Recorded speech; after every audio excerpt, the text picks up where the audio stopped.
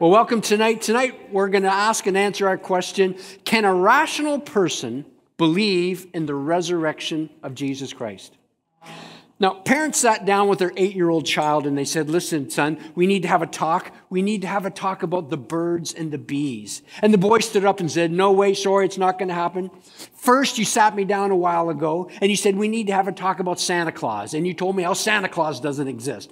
And then you sat me down and said, We need to have a, a talk about uh, the Easter Bunny. And you told me the Easter Bunny doesn't exist. And then you sat me down and said, We need to have a talk about the Tooth Fairy. And you told me the Tooth Fairy doesn't exist. Now you're going to tell me birds and bees don't exist. I can't handle this. Well, this course is designed for skeptics and for friends of skeptics. It's designed to address nagging questions around issues of God and faith. So let's quickly remind ourselves of the terrain that we traveled so far. Last week, we uh, looked at the evidence for the existence of God. And we said that God is the best explanation for the existence of the universe. We said God is the best for the existence of the fine tuning of the universe. We said God is the best explanation for the existence of objective moral values and duties. And then we said God is the best explanation for the resurrection of Jesus Christ. Now, last the last point last week was more of a promissory note for today. Tonight we're going to complete the final point from last week's presentation. That God is the best explanation for the events surrounding the resurrection of Jesus Christ. Now, I don't want to assume. What is the resurrection? Some of you may be saying, what does the word resurrection mean? The resurrection of Jesus. Resurrection means that Jesus of Nazareth died, and then, after being placed in a tomb, he rose again from the dead. He was dead, and then he rose again from the dead. That's what we mean by the resurrection. Never to die again. So far, the evidence presented argues for the existence of a morally good, incredibly powerful, unfathomably intelligent creator of the universe who exists eternally outside space and time. That's what we learned last week. But this describes the God of all three of the world's monotheistic religions God of Christianity, Judaism, and Islam. Tonight's teaching is a turning point because tonight's teaching will eliminate two of those, leaving us with only one remaining option. So, what is the evidence for the resurrection of Jesus Christ?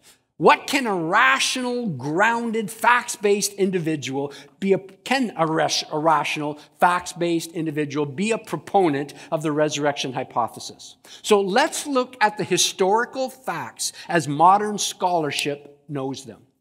Now, Although I am fully committed to the concept that the Bible is God's word to us, for the sake of the presentation this evening, I am not treating the New Testament as a set of inspired, holy scriptures. What I mean is this I am not giving the New Testament any special treatment this evening. Instead, this evening, I'm going to treat the New Testament documents as modern scholars and historians treat them as simple ancient historical documents that have been handed down and need to be tested, verified, and scrutinized. Now, many who are unfamiliar with the state of New Testament scholarship have the mistaken impression that the textual reliability of the New Testament documents is suspect. Meaning, a lot of people think and say, and I've heard this over the decades, the Bible is just a dusty old book that's been translated so many times, we don't know what it originally said. It's lost its original meaning.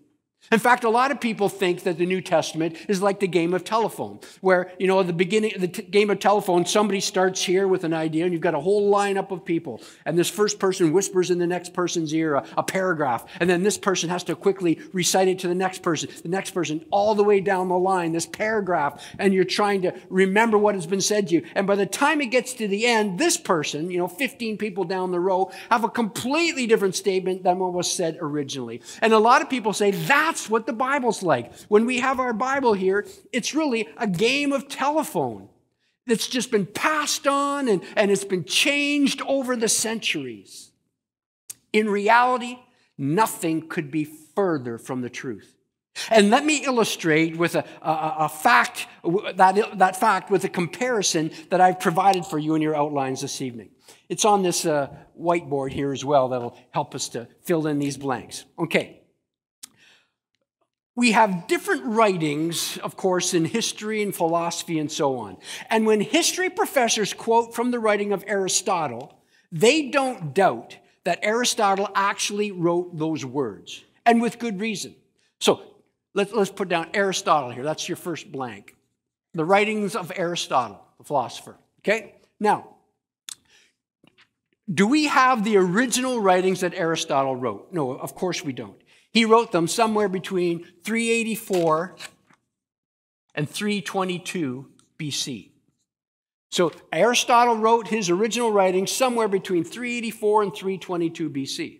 Okay? Do we have the originals? No, they were written on papyrus or whatever centuries ago. They've rotted, they've dissolved, they're, they're completely gone. We don't have the originals. And that's not to be expected. Of course, we don't. The earliest copy, then, so we don't have the original. What is the earliest copy we have? When was it written? The earliest copy we have is from 1100 AD, meaning BC, before Christ, AD, the year of our Lord. So, uh, you know, 1100 years ago. So, we don't have the original, and the earliest copy we have is 1100 AD, which is a gap of 1400 years. So, the gap between the original, which we've lost, uh, the earliest copy, and, and, the, and uh, what we have now is 1,400 years. It's a long time, but historically speaking, not too bad because we have 49 copies. 49 copies. Now you say, why does that matter? The more copies, the better. Okay? So think in these terms. Um, 100 years from now, they're doing a study on the skeptic course. And they're wondering, what did Darren teach? Because he's such a loser. What did that guy teach during that skeptic course? Well, do we have Darren's original notes? No, we don't. So, how can we know what he taught? Well, we have some skeptic notebooks that we found. Archaeologists found them. And uh, we've got one notebook. Okay, well, here's what he taught. Well, we're not sure because we've only got one copy of one skeptic notebook. And how do we know that guy took good notes? Well, actually, we found a second copy of Skeptic, so we can compare the two. Okay, that helps. We've got two now, and we can see if they're writing down the identical thing. Or, problem though, what if one says one thing and one says another? How do we know if either's right or neither? Well, we have four more copies. Oh, we've got six copies now. Yeah, okay, that helps us because we can compare between the six. And chances are we're going to see, and this is called textual criticism, we, we can see that um, we can compare the two, and there's a whole science behind this.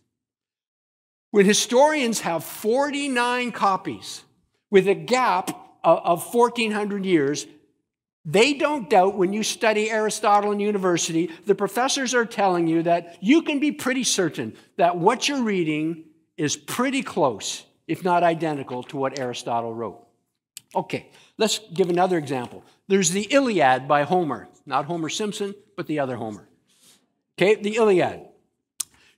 Uh, the original that he wrote was in 900 BC. Do we have the original Iliad by Homer? No, of course we don't. The earliest copy we have is from 400 BC, which is a gap of some 500 years after the original. 500 years, much closer than Aristotle. Okay? Homer's Iliad, the original, do we have it? No, but it was written in 900 BC. We've lost the original. The earliest copy we have is from the year 400 BC. That's a gap of 500 years between the original and the earliest copy. But here's why we're absolutely certain, and historians are absolutely certain when you're reading the Iliad, you're reading what Homer wrote, because we have 643 copies. Wow. 643 copies out there. So we can compare, we can be certain that the Iliad we have today is very close to the Iliad that was written nearly 3,000 years ago. Scholars consider this combination of only 500 years gap and 643 copies to be historical bedrock. Okay, now let's look at the New Testament. The New Testament, that's the Gospels and the, uh, the, the letters in the New Testament of the Bible. Let's make sure we understand what the Bible is. when you have a Bible, you have the Old Testament and the New Testament. We're talking today about the New Testament. The Bible isn't just one book, it's a book which compiles a bunch of different books together under the same cover. And when we have the New Testament, we have the documents that were written about the life of Jesus of Nazareth and his followers, letters that they wrote after Jesus' life, death, and resurrection. They've been compiled together called the New Testament, literally meaning the new covenant, the new contract that God has made through Jesus. And we compile them together as the New Testament. And that's what we're talking about this evening, because it's the New Testament that talks about Jesus' life, death, and resurrection. Okay. The New Testament documents were written sometime between 45 and 95 AD. Okay? So the New Testament was written sometime, all the documents between 45 and 95 AD, scholars tell us. The earliest copies we have are between 120, 125. Darren, you can write better than that. 125 and 200 AD. That is a gap of 150 years, conservatively. 150 years not 1100 years, not 1400 years, I should say, not 500 years, 150 years. Okay?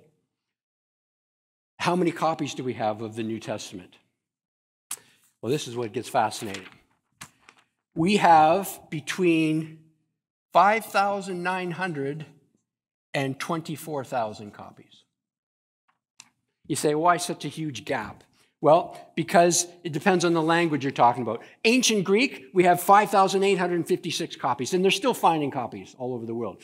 5,800 ancient Greek, and it was originally written in ancient Greek. But then we have another 23,986 copies in Syrian, Latin, Coptic, and Aramaic. So we have up to 24,000 copies to compare. Ladies and gentlemen, in comparison to all ancient writings that historians have no doubt about, you can see the New Testament rises above them all. Now, here's the thing the simple truth is the New Testament is the best attested document in ancient history, both in terms of the number of manuscripts and in the nearness of the copies to the originals. In fact, modern reconstructions of the New Testament text have been done, and it has now been firmly established by scholars and historians that 98.9% of the New Testament is accurate to the original documents. Meaning, with text, the science of textual criticism, they're able to compare, and with the ancient documents, compare what we have, and there's a 98.9% certainty. So, despite the uninformed ranting of the odd internet infidel blogger, when we deal with the claims around the life, death, and resurrection of Jesus, we're not playing a game of telephone where rumors have grown over the centuries. No, we are dealing with, with, with uh, literally historical facts. In fact, let me give you another stat. There are 138,000 words in the, in the New Testament, Greek words. Of those 138,000, we are absolutely certain, I want to get this right, 134,600, I believe, Absolute certainty, uh, no, 136.6. 136.4, I should say.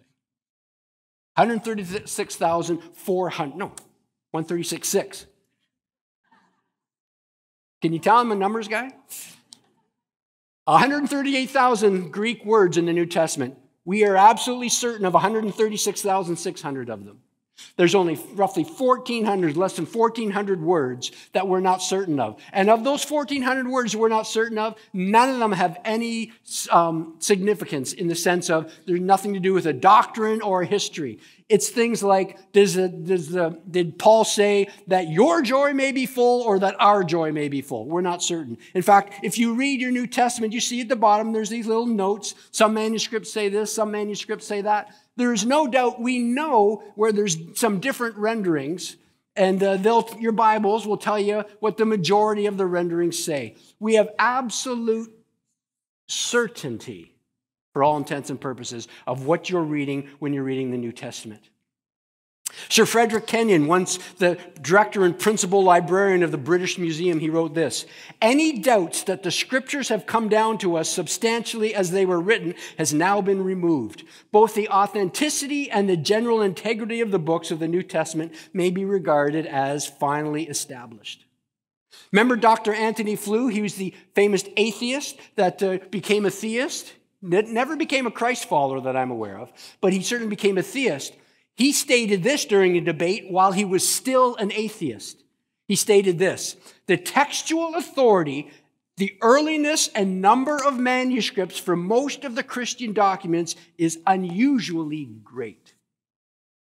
So, despite the rantings of some internet infidels out there, we're not playing a game of telephone where rumors have grown over the centuries. We're dealing with claims that can be traced literally to first century contemporaries and even eyewitnesses. Now, historians reached a consensus long ago regarding the existence of Jesus. The 19th and early 20th century proposition that the, the man named Jesus was just a legend was long ago put to bed by modern scholarship and archaeology.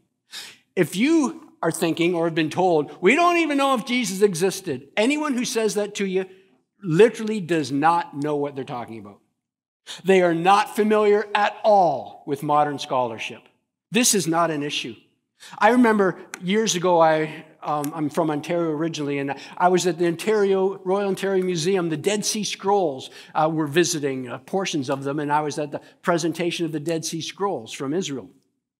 And some a Jewish professor was there traveling with the scrolls, and there was a room of about two, three hundred people, maybe about these many people, uh, at the Royal Ontario Museum. And uh, he was answering questions. And I'll never forget, a woman at the back went to the microphone, or she shouted out. She said, Yes, you keep talking about this Jesus as though he existed.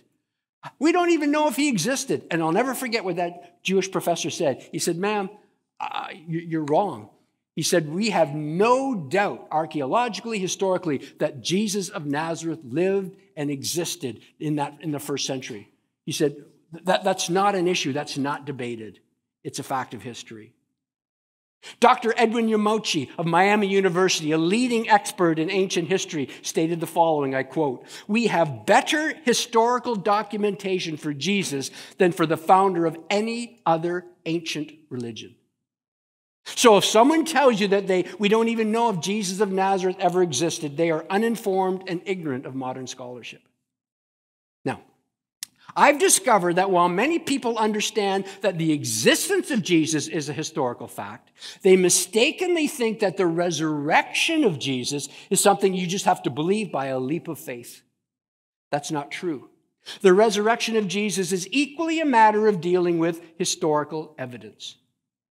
Now, when it comes to the historical uh, record, there are essentially four established facts recognized by the vast majority of New Testament scholars, critics, and historians today, which I would put to you are best explained by the resurrection of Jesus.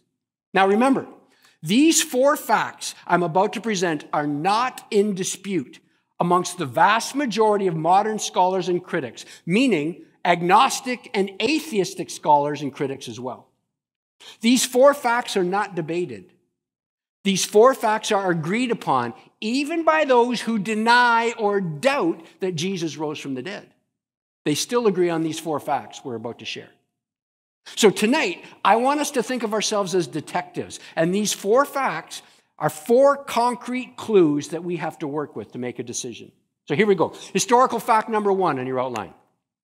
After his crucifixion, Jesus was buried in the tomb of Joseph of Arimathea.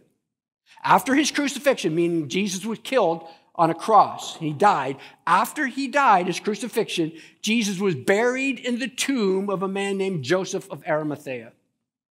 Joseph of Arimathea was a member of the Jewish Sanhedrin, which is an ancient Jewish court in Jerusalem.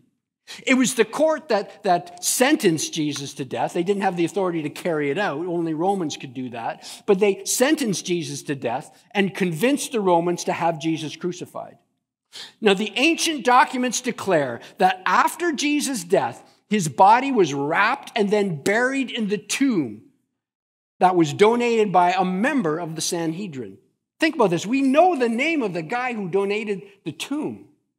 Historians find this fact to be highly credible due to what they refer to as the embarrassment factor.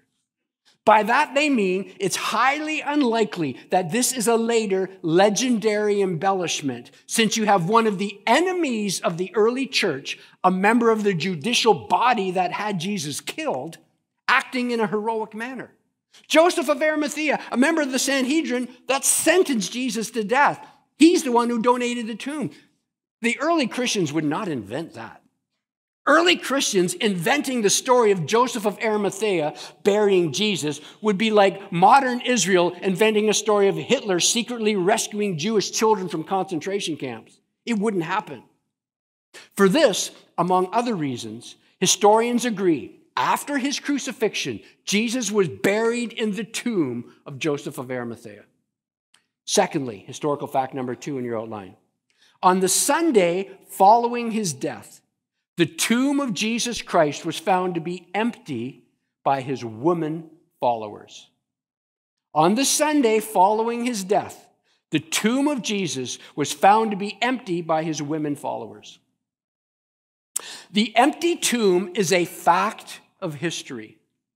Realize this historians will debate how the tomb became empty, but they don't debate if the tomb was empty. The fact that the tomb was found empty by a group of women serves as another powerful sign of authenticity to ancient historians, again, due to the embarrassment factor. Now, you say, Darren, why was this embarrassing? Don't shoot the messenger here. I'm just telling you the facts, okay? As distasteful as it is to our modern sensibilities, the testimony of women was not acceptable in Jewish courts. Women were simply not trusted as reliable witnesses. An invented account of the circumstances surrounding the empty tomb would certainly not have the first witnesses be women. An invented account would have Peter or John or, or some other powerful group of men be the first eyewitnesses. But the fact that the manuscripts record that it was women who first witnessed the empty tomb and saw the resurrected Jesus is a strong sign of unvarnished, honest testimony. Historical fact number three. On separate, multiple occasions, different individuals and groups of individuals, including 500 people at one time, saw what they claimed to be appearances of Jesus. And you could re- actually remove what they claimed. It's actually saw appearances of Jesus alive after his death. On separate, multiple occasions, different individuals and groups of individuals, including 500 people at one time, saw appearances of Jesus alive after his death. Now, folks, these appearances were witnessed not just by believers, but by unbelievers, skeptics, and even enemies of Christ. By the way, Christ means Messiah, Savior. So, this is an important fact because any appeal to hallucinations or wish fulfillment simply does not fit the historical facts. So, in other words, some people say, well, you know, these were just hallucinations, and we'll get to this in a moment as a theory. But this, this theory that it was just wish fulfillment, they so wanted him to be alive that they just made it up in their minds and saw him.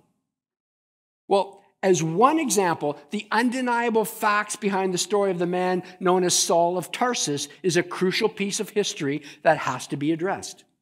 Saul was a Jewish religious scholar and by his own account, a zealot who was an enemy of the early Christ followers. In fact, Saul terrorized the early church. He hunted down and he killed the first Christians. It's a fact of history. While on one of his seek and destroy missions, Saul claimed to have had an encounter with the resurrected Jesus. This encounter instantly changed the direction of Saul's life. In literally an instant, Saul turned from being a killer of Christians to being a follower of Christ in an instant. This would be akin to Osama bin Laden being leader of Al Qaeda at 11 a.m. and being a member of President Bush's cabinet at 11:01 a.m. That's how radical this was. Now, historians marvel what could cause such a powerful, radical, instant turnaround? Saul claimed he met the resurrected Christ, and he would later die because of that claim. Scholars are in agreement that the historical record reports multiple early independent eyewitness accounts. And these multiple early independent testimonies, even eyewitness testimony from enemies and combatants, must be accounted for. Historical fact number four. The original disciples suddenly came to believe in the resurrection of Jesus despite having no expectation of it. The original disciples suddenly came to believe in the resurrection of Jesus despite having no expectation of it. As one scholar put it, he said, You need to have a sufficient launching pad to explain the launch of this missile called Christianity. It can't be a gradual ramp of legend being built up over decades or generations. It was an instant liftoff. Men and women who were one day hiding and cowering and denying that they even knew Christ were the next day willing to die for the claim that they had seen the risen Christ. Something happened literally in an instant that must be explained. Now, it's important to understand that the original disciples had absolutely no expectation of a dying and rising Messiah. When we think Messiah, we think, yeah, someone who dies for the people and rises from the dead. That's not at all the concept, the Jewish concept of Messiah. Still isn't to this day. The Messiah was a political leader. He was a hero. He was going to come, he was going to defeat those dirty Romans, and he was going to rescue Israel and restore them to their previous glory. The Messiah doesn't die. The Messiah dying would be like Superman dying. It's unthinkable, it's impossible. It's an oxymoron, a dying Messiah. Add to that the fact that according to Jewish law, Jesus' method of death, how he died, was considered evidence that he was under God's curse, not that he was a Messiah. Cursed is everyone who hangs on a tree, scripture says in the Old Testament. Plus, add to that the fact that Jewish beliefs in the afterlife did not anticipate anyone being resurrected until the very end of the world. And you, when you combine all that together, you realize that the resurrection of Jesus was a completely unanticipated event. When Jesus died, they weren't sitting around waiting for him to rise from the dead. It just wasn't as part of their thinking at all. It wasn't in the Jewish mindset. Scholar Dr. N.T. Wright put it this way I quote him In the first century, when your Messiah died, you either went home or you went and got yourself a new Messiah. Now, if we want to be rational, we need to deal with the facts. When you're rational, facts are your friends. So, what are the facts of this case? Here's what we know. And again, this is not disputed, folks. Historical fact number one after his crucifixion, Jesus was buried in the tomb of Joseph of Arimathea. Historical fact number two on the Sunday following his death, the tomb of Jesus was found to be empty by his women followers. Historical fact number three on separate, multiple occasions, different individuals and groups of individuals, including 500 people at one time, saw appearances of Jesus alive after his death. Historical fact number four the original disciples suddenly came to believe in the resurrection of Jesus despite having no expectation of it. Now, as honest detectives, as men and women who are willing to follow wherever the evidence leads, our explanation needs to account for all four of these historical facts. Now, here's the thing every naturalistic attempt over the last 2,000 years to explain these historical facts has been universally rejected by contemporary scholarship. Understand this. And this is an area I've devoted over 40, 45 years of my life studying. There is not one single naturalistic theory that is able to explain all the known facts of the case. Not one. But don't take my word for it. Let me show you. So, what are the competing theories to the eyewitness claims of Jesus' followers? What rational alternatives has 2,000 years worth of skepticism produced? Here is the product of 2,000 years worth of skepticism. Number one is what we'll call the theft theory. It's referred to as the theft theory. This is the theory that says that the disciples came and stole the body. This was the very first theory that was proposed by the Jewish authorities at that time. So the claim was so, so Jesus' body is placed in the tomb. It's, there's a giant stone rolled in front of the tomb. So he wasn't buried in the ground. It was a tomb on the side of like a side of a mountain uh, carved in, and a giant stone is pull, put into a, a slot in the ground. So it, it takes a couple men to open it. It's sealed, and then some Roman guards are placed outside that tomb. And the original theory was this: the the, uh, the authority said, "Here's what you need to say."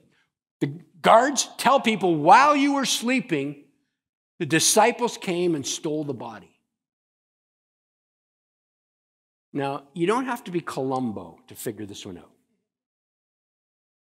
I want everybody right now, and, and trust me with this, everyone right now, s- place your eyes in the position they would be while you're asleep.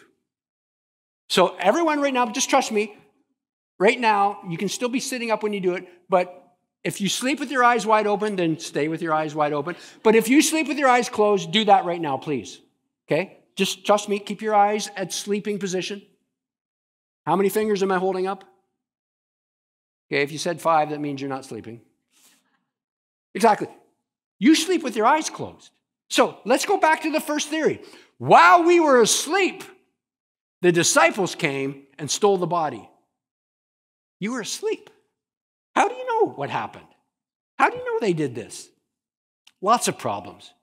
By the way, when you say the disciples, do you mean those same guys who hid when Jesus was arrested, shrank from a woman's accusations around a campfire, and were too afraid to even claim Jesus' body? These guys suddenly conspired together to steal his body and to make up a resurrection story? Does that make sense? How can sleeping guards identify people? And by the way, guards who fell asleep in first century Roman guards, if you fell asleep on the job, you would be killed. They weren't killed. There's no record that these men were killed. And what about the resurrection appearances, including to enemies of Jesus? That doesn't explain. You know, if his body's been sold, uh, been stolen, what about the resurrection appearances, including to people who hated Jesus? And does an outright lie explain the disciples' lives from that day forward? Not all, but many of them died for a known lie. They knew they stole the body, they hid it somewhere, and then they walked around saying, Jesus has risen from the dead. And what did they get for this? Did they go on Oprah? Did they go on a book tour? No. Many of them lost their lives for something they knew was a lie. Does that make sense to you? What did they gain other than eternity if it was true? That's why the theft theory has not been proposed as a viable alternative for 2,000 years now. So let's go to the second one the no burial theory. The no burial theory. And this is the theory that says the body was thrown into a pit, not the tomb. So these people say, oh, so what happened was you know, the Romans killed thousands, tens of thousands of people all the time, crucified them. And what they did was they didn't all give them decent burials. They'd often throw them in just a pit. And that's what happened. Jesus' body, they said, was thrown into a pit, not into the tomb. The woman went and looked in the tomb and they were mistaken. They saw the tomb was empty. They thought he was placed in the tomb. He wasn't. He was thrown in a pit with other criminals. What's the problem with this theory? It's real simple. As soon as the disciples started to go out through Jerusalem and proclaim that Jesus has been raised from the dead, all the Romans had to do was say, Don't time out, you're mistaken. Open up the pit there, show them the body. Now, See, there he is, look down there. There he is. He's not raised from the dead. All they had to do was produce the real body. And what about the resurrection appearances? This doesn't explain the resurrection appearances. This theory has never had serious consideration and has absolutely no modern day support as a viable alternative. What about number three? The wrong tomb theory. The wrong tomb theory. The women, and I'm sorry, you know, women in directions. The women accidentally went to the wrong tomb on Easter morning. So, you know, so it's Easter morning. They go to the, the cemetery where there's different tombs and they run and they turn to the right and they look and there's a tomb that's empty. He's alive. When really he was buried over this one. They went to the wrong tomb. So, the wrong tomb theory. What are the problems with this theory? Why wouldn't the Romans kindly point them to the right tomb? No, ladies, you made a mistake. You looked in the wrong tomb. Here, Claudius, roll away the stone. See, there he is. He's in there. And what about the resurrection appearances?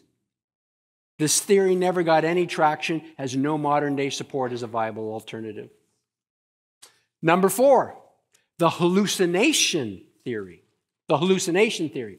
This is the theory that says the resurrection appearances were mere hallucinations. The disciples were so grief stricken. They so were devastated. They thought he was the Messiah, and now he's been killed and he's been laid in a tomb, and they just can't fathom it. They were wrong all along. How could they have been fooled? They're so blown away. They so want him to be alive that they imagine it, they hallucinate it. What are the problems with this theory? Well, there's several. Why wouldn't the Romans produce the body and end all this hallucinating? You're hallucinating, folks. Claudius, roll the stone away. There he is. See, he's dead. Plus, this theory doesn't fit the facts for Jesus' appearances to the disciples as a group or to a crowd of 500. He appeared to all of them as a group a couple times and to a crowd of 500 at one time. See, here's the thing with hallucinations I can have a hallucination, you can have a hallucination, but we can't network our hallucinations. Hallucinations are like dreams. I can dream, you can dream, but, you know, I heard one person say just today, I was listening to a, a, podcast, and the, the uh, scholar talked about, he said, you know, he says, I can say to my wife, listen, I'm having a really good dream about Hawaii. You go to sleep and dream with me, and we can have a vacation together in our dreams. It doesn't work like that. And hallucinations don't work like that. Plus, preconditioning is a major factor in hallucinations. This theory doesn't fit the facts regarding the state of mind of the disciples. James, who was Jesus' brother, he was not a follower of Jesus when Jesus walked the earth. In fact, James said at one point, Jesus is crazy. He thought he was crazy. Who is he? The Messiah? What's going on? So when Jesus died, James wasn't a follower, but it was only after Jesus made a resurrection appearance to James that James became a follower of Jesus, leader of the church of Jerusalem, and eventually was martyred for his faith. Or what about Saul, who became the Apostle Paul and wrote much of the New Testament? Saul was someone who terrorized and killed Christians. He wasn't having wish fulfillment, he was glad Jesus was dead. It doesn't fit the facts. And by the way, when one person has, a, when you have a hallucination involving a deceased person, you don't take that hallucination as a sign that that person is alive, but as confirmation the person's dead. This theory was proposed in the early 20th century. However, I'm not aware of any modern day evidence among New Testament historians and scholars who support it today. Number five, the swoon theory the swoon theory. This is the theory that some Muslims hold, uh, which is Jesus only fainted on the cross. He resuscitated in the cool tomb and he escaped. So, so get this. This theory goes like this Jesus is hanging on the cross. And while he's on the cross, he, he swoons, he faints, he goes into a coma. People think he's dead, but he's not. They take him down, they place him in the tomb, seal the tomb, and the coolness of the tomb and the spices that they wrapped him with revive him. And he wakes up, he exits the tomb, and then he appears to his followers and says, I'm alive. Oh, you're raised from the dead. That's the swoon theory. So, what are the problems with this theory? They are multiple. Death by on the cross was essentially death by asphyxiation. So you're hanging on a cross, nailed, and your feet are nailed, your, your hands are nailed. And what you would do is you would push up on your feet because it's hard to breathe because you're hanging like this. So you'd push up, Try to get a couple of breaths and then you're exhausted. You hang down, you're suffocating, you push up, down, up, down, up, down. You do that for hours. That's why, if they're trying to hurry the process, they would break their legs. So you couldn't push up anymore and you would asphyxiate quicker. Suffocation is when you have something on the outside uh, stopping your breath. Asphyxiation is when you die from, the, from within. You die of asphyxiation. And so, Jesus is there hanging. What they do is they don't break his legs. The Roman soldiers, whose profession it was to kill people, they killed thousands. This was their job. They know when someone's dead. They saw that he was dead, so they didn't have to break his legs, but to make sure they stuck a spear in his side and outpoured blood and water, which is a sign of a, a, a, a broken, literally, a, vessel, a, heart. And, and he didn't flinch or anything, he was dead. So they took him down, and he was then wrapped and placed in a tomb. But get this Jesus was beaten before he was killed with 39 lashes with a whip with a, cat of nine tails, it's called, where on the end of the whip, there's pieces of bone attached to it. So when the whip would grab the back, it would grab it and tear flesh from it. And they, they did it 39 times because the Romans had estimated that's just enough to not kill the person. So he's whipped 39 times, carries a wooden cross through the city, nailed to it, hung there for six hours was stabbed in the side of his chest to ensure he was dead. Water and blood flowed out, pericardium, aorta pierced, is what that signified. After a physical examination, Jesus was pronounced dead by the authorities, whose profession it was to kill people. And if you took somebody down from the cross before they were dead, you would be killed. Could so he's placed in this tomb behind this massive stone. Now, here's the question if this swoon theory is right, could a crucified man unwrap himself like he's wrapped in cloth like a mummy? Could he unwrap himself, single handedly move away the stone from the inside with his whipped back, his pierced legs, uh, feet, and hands, push the stone all by himself from inside the tomb, sneak past the guards, appear to his disciple in his beaten, emaciated body, and say, I've been raised from the dead, and you too can have a body like this someday. Inspire them, leave, never to be seen again. I am not aware of any contemporary historians or New Testament scholars that subscribe to that theory. That's it. That is the state of the. Well, actually, no, there's one more. I didn't put it on your outline. There's one more. This is state of the art. Can write this somewhere in your side notes. Dr. William Lane Craig uh, talks about this. He's a, probably the world's foremost Christian apologist and debater. He's actually spoken here at Broadway a few years ago. He shared once about a debate that on this topic, a debate he had with a professor from the University of California, a professor who did his doctoral thesis on a skeptical response to the resurrection. Here's the state of the art Jesus had an unknown twin brother who was not raised with Jesus. And he just happened to be in the Jerusalem area during this time of Jesus' trial and crucifixion. He appeared, and people thought it was Jesus. That's it. That's state of the art. You say, what, what, what, there's another theory that Muslims believe, but it's not, it's not a naturalistic one. The other theory, it's actually right out of the Quran. Um, Surah 2 or 3, um, Surah 4, 157, 158, it says in the Quran, they did not kill him, neither did they crucify him. It only appeared to be so. So the Quran actually teaches that Jesus didn't die.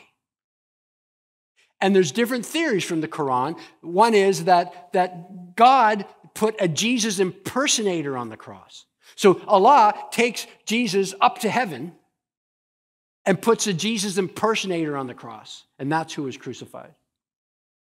Now, so Jesus himself wasn't killed. The problem that Muslims have with this is this the one thing that everybody in historically agrees on atheists, agnostics, religious people, that they all agree on one historical fact is Jesus died. And that's the one thing the Quran says no, it didn't happen. They didn't kill him, nor did they crucify him. That's one thing everybody historically says no, that we know that happened. Plus, the problem with this that you then have Allah as the source of the greatest lie placed on humanity. All these two billion followers of Jesus are believing a lie because Allah tricked us. What, what, what's, what, what was the point of that trick? He's a great deceiver. He made us think Jesus rose from the dead. Why? Doesn't make sense. But those are your options. So here's the conclusion, folks. I would respectfully put to you that a rational person can accept the resurrection of Jesus. If by rational you mean dealing with the facts and following wherever the evidence leads you, the only explanation that factors in all of the known historical facts is the resurrection of Jesus Christ. That's why it seems to me the follower of Jesus is historically and intellectually justified in both believing and declaring that Jesus rose from the dead, proving that he is who he claimed to be God come to earth in flesh. Years, many years ago, Professor Thomas Arnold, scholar, author of the famous three volume History of Rome, appointed to the chair of modern history at Oxford University, a man well acquainted with the value of evidence in determining historical facts, wrote this concerning the historical evidence for the resurrection of Jesus. I conclude with this quote. He said, Thousands and thousands of persons have gone through it piece by piece, as carefully as every judge summing up on a most important cause. I myself have done it many times over, not to persuade others, but to satisfy myself. I have been used for many years to study the histories of other times and to examine and weigh the evidence of those who have written about them. And I know of no one fact in the history of mankind which is proved by better and fuller evidence of every sort of the understanding of a fair inquirer than the great sign which God has given us that Christ died and rose again from the dead. So, what's the most plausible response to the facts in your mind when it comes to evidence for the existence of God, when it comes to evidence for the resurrection of Jesus? What better answer do you have than what we've discussed for the last two weeks? Talk about this around your table, and then we'll open it up for questions and answers.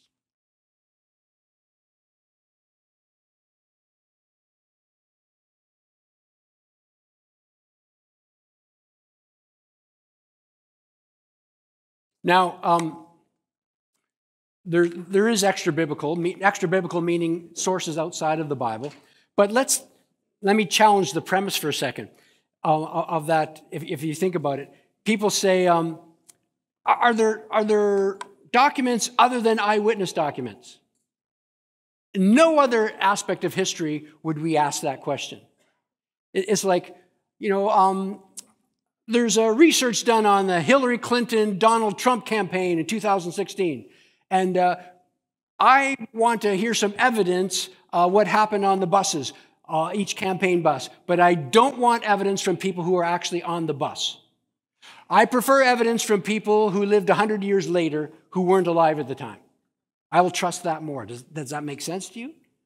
But that's what essentially people are asking for. When they ask, for the most part, for biblical, extra biblical evidence, they're saying, I don't want eyewitness accounts, which is what the Gospels are and the New Testament epistles are. Those are eyewitness accounts. And we know that uh, at least seven of Paul's, what, 14 epistles or 16 epistles, 14, I can't remember off the top of my head, there's no doubt that he wrote them. Okay? So we, and the Gospels, they're not denied by historians that th- these are, um, if they're not eyewitness accounts, they're based on eyewitness accounts. Okay?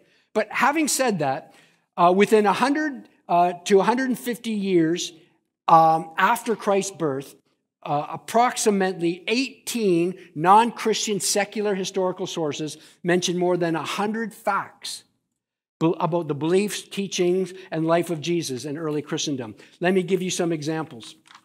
Um, Josephus is a Roman historian, not a Christ follower. Uh, he mentioned Jesus in Antiquities, his writing, 93 AD. Um, this was once looked at, a quote that was uh, fabricated by Christians later, but uh, that's no longer felt. They've actually, there was an Arabic version that was discovered, uh, which didn't have the, the sort of the flowery language. Suffice it to say, it's, it's been studied and it's really no longer denied that this was a quote from Josephus. Here's what he wrote. Again, this is a Jewish historian. He was a Jew who's a Roman historian. And uh, he wrote this At this time there appeared Jesus, a wise man, for he was the doer of startling deeds, a teacher of people who received the truth with pleasure. And he gained a following among Jews, many Jews, and among many of Gentile origin. And when Pilate, because of an accusation made by the leading men among us, condemned him to the cross, those who had loved him previously did not cease to do so. And up until this day, the tribe of Christians named after him have not died out.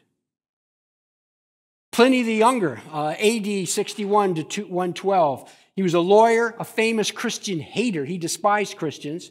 He was a Christian hunter. He wrote hundreds of letters. We have many of them. In one letter, he described his hatred for first century Christians. Here's a direct quote from his letter. They were, speaking of Christians, they were accustomed to meet on a fixed day before dawn and sing responsively a hymn to Christ as to a God, and bound themselves to a solemn oath not to do any wicked deeds, but never to commit any fraud, theft, adultery, never to falsify their word, not to deny a trust when they should be called upon to deliver it up. Tacitus, written in Annals in AD 116, reporting to, uh, uh, about Emperor Nero's decision to blame the Christians for the fire that engulfed Rome in uh, AD 64, Tacitus wrote this Nero fastened the guilt on a class hated for their abominations, called Christians by the populace. Christus, from whom the name had its origin, suffered the extreme penalty during the reign of Tiberius at the hands of Pontius Pilate, and a most mischievous superstition, thus checked for the moment, again broke out not only in Judea, the first source of the evil, but even in Rome. And there are others, but those are some main ones. And for there to be any mention of Jesus at all in ancient Roman documentation is remarkable when you consider that he was just a Jewish criminal crucified in a backwater world of ancient Palestine. Why would he make it on the Roman radar of a Roman historian is a clear sign that something remarkable happened through his life. Okay? Dr. N.T. Wright at the end of his massive study on the resurrection, he states that the empty tomb and appearances have a historical probability which is so high as to be, I quote him, virtually, virtually certain, like the death of Augustus in AD 14 and the fall of Jerusalem in AD 70. So there you go.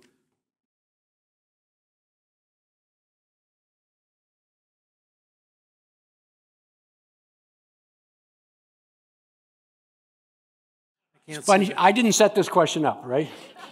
I didn't. I just bought this book. It just it's the state of the art. I'm just started to read it. It's author Gary Habermas, who actually spoke here at Broadway a few years ago. He is probably the one of the preeminent uh, uh, scholars in this subject. This is his book on the resurrection, volume one, evidences. This is a thousand pages. This is just on the evidence for four, what he calls minimum facts, four undenied facts about the resurrection of Jesus.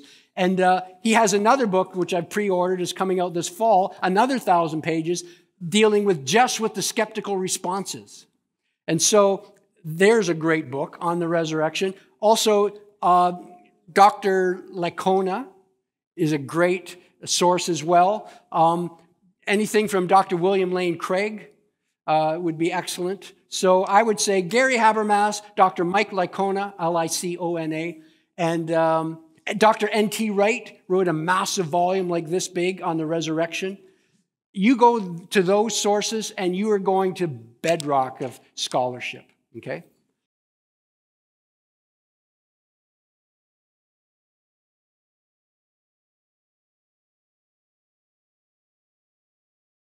That was what the ascension was all about.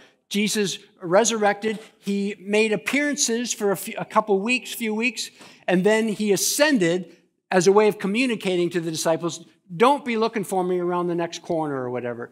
Um, that Jesus said to Thomas, who doubted, you know, you know, you, you believe because you see, but blessed are those who believe without seeing.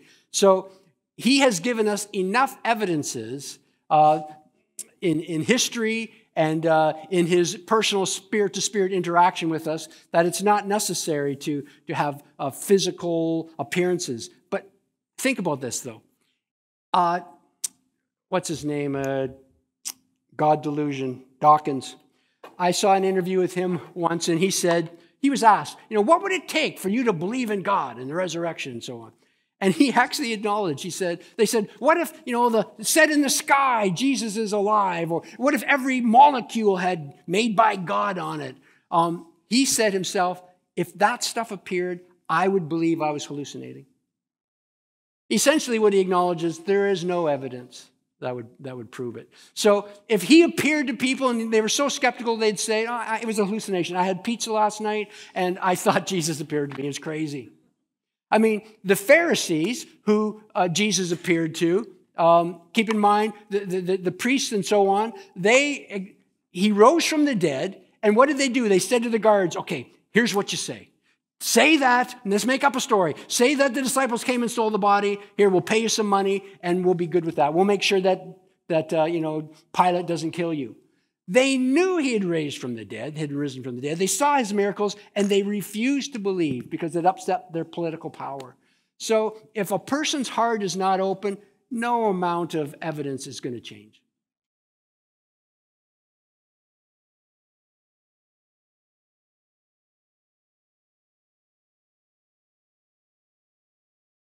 So we have multiple independent attestation so it's just not one person who's fabricating a story.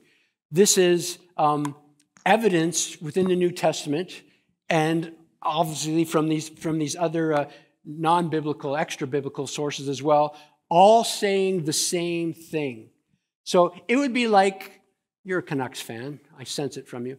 Um, it would be like you were at game seven in 2011 when the Bruins beat the Canucks and you and 20,000 other people saw it, and, and so you come and you testify that the Canucks lost that heartbreaking of a game, and we say, well, how do we know you're just not a Bruin fan making that up? just to harm us. No, there's so many witnesses to that. It's undeniable. It's, it's highly attested. And it's like that with the New Testament, with the resurrection of Jesus. It's been attested to, it was attested to by multiple independent individuals, skeptics, believers, enemies of Jesus. So it's not a matter of somebody making something up and then everyone believing it. Many people, hundreds of people, um, witnessed it and testified to it.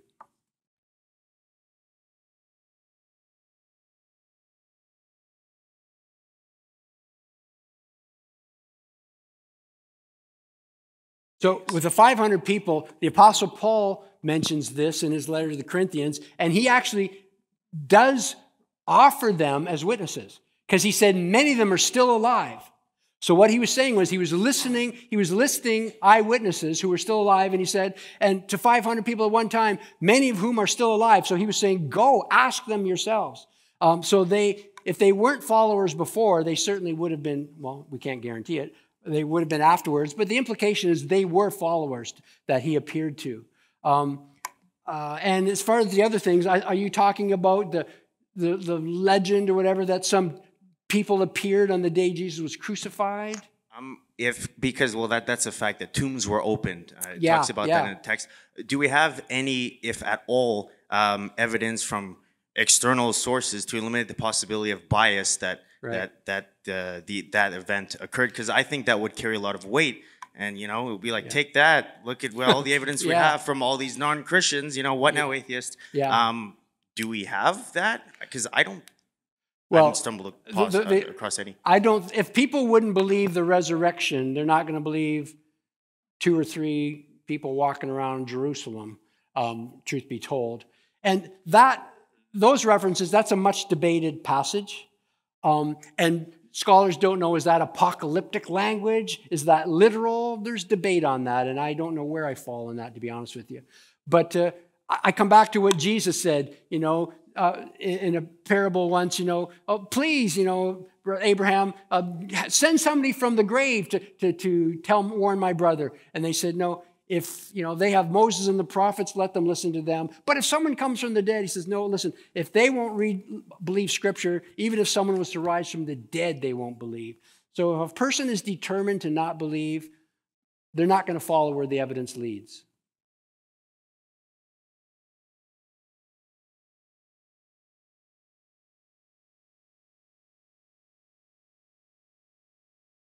Oh yeah, he he uh, he he foreshadowed that a few times, but Scripture's clear. They it went over their heads because it didn't compute. They, they they didn't think he was being literal. He said, you know, the Son of Man will will die and will uh, rise again. Uh, he said uh, at the uh, famously in the Gospel of John. Uh, in fact, I'm teaching it I think this Sunday here, where he talked about you know he said to the religious authorities they said, when he turned over the temples and the, or the tables in the temple, they said, what, what authority do you have to do this? What sign can you give that you can do this? He said, destroy this temple and I'll raise it in three days.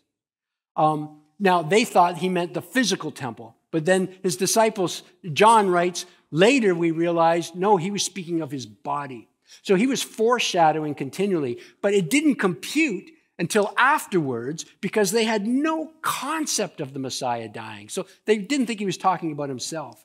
Um, three days, yeah, they could count days back then, just like weekend now. And so uh, there's that's not disputed, not debated, not discussed. A Friday to Sunday uh, by the Jewish calendar, any part of one day is a full day. And uh, so uh, that's never debated, discussed, dismissed. And even the Jewish authorities remembered it because that's why they put a guard there, because they remembered that he had predicted that that might happen. Yes. By the way, which is the context, that's important. The context of his resurrection was it didn't just happen out of nowhere, it validated his claims. So it didn't happen in a vacuum. He said, I am the Messiah, I will prove it, here's how I'll prove it. So it vindicated his claims to deity. Yes, go ahead.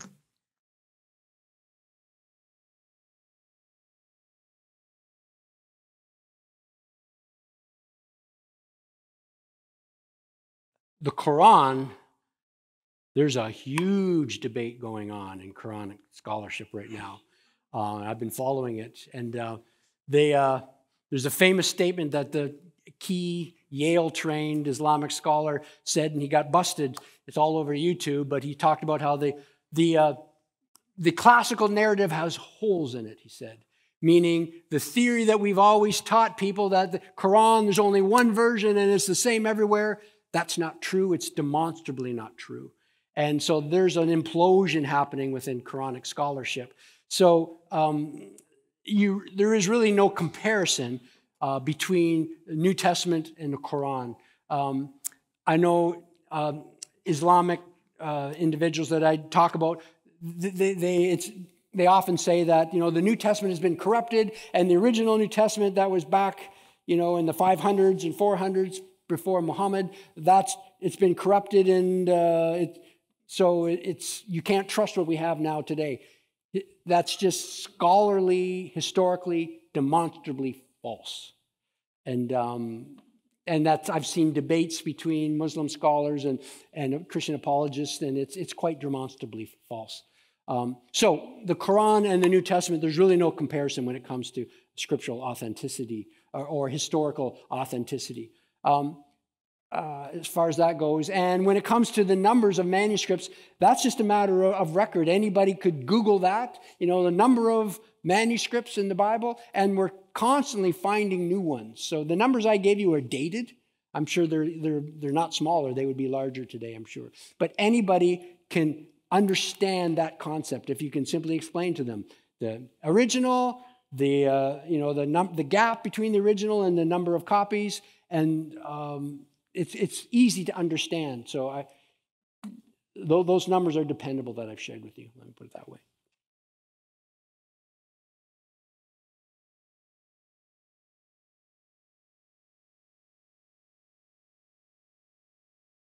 Yeah.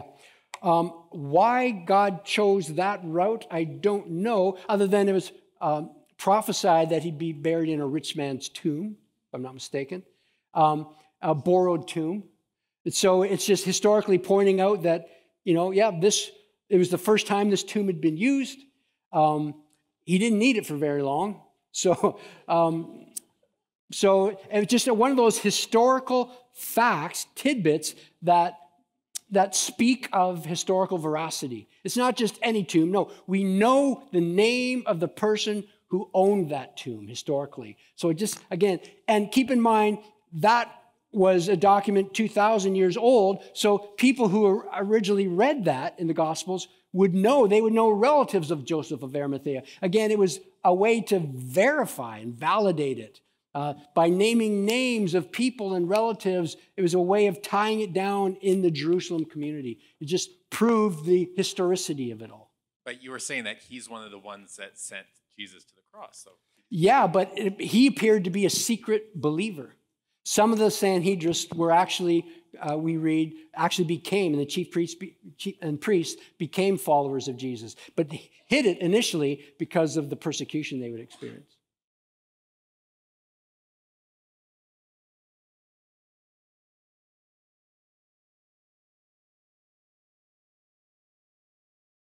Keep in mind when we say, if God is love, why would he do this to Jesus? Jesus is God.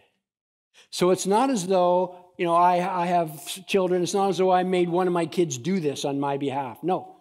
God took on the form of humanity in Jesus of Nazareth. He himself had this, he submitted himself to this.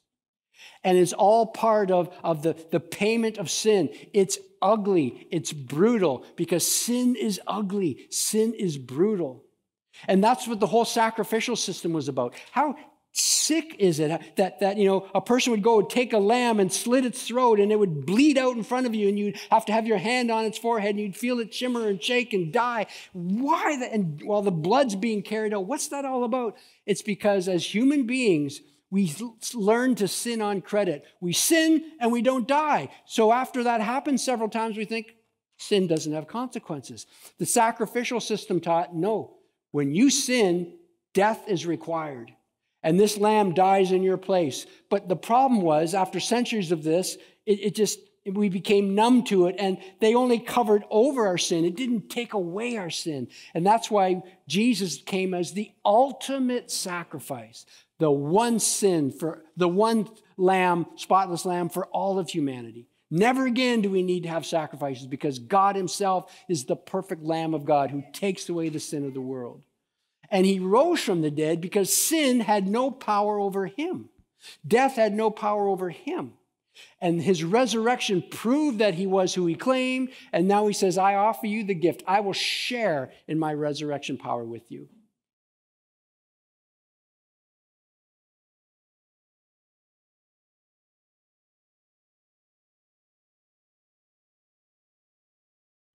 It could be fragments, it could be entire documents, it could be pieces. Um, it, it, depends. It's, it's, it's uh, verified portions of Scripture that we know are actual biblical portions, Scripture portions. Okay?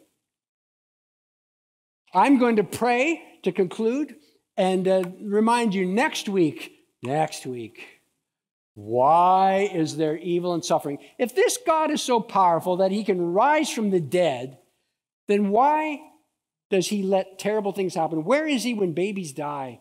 Where is he when wars are going on? What is up with suffering and evil? What kind of a loving God would do that? Allow that? Where is God when all that happens? We're going to do our best to confront that head on next week. But let me pray right now as we conclude. Perhaps you're here right now and you've just been investigating. I just want to give you an opportunity right now in this last moment to accept this gift of eternal life that God's offering and holding out to you.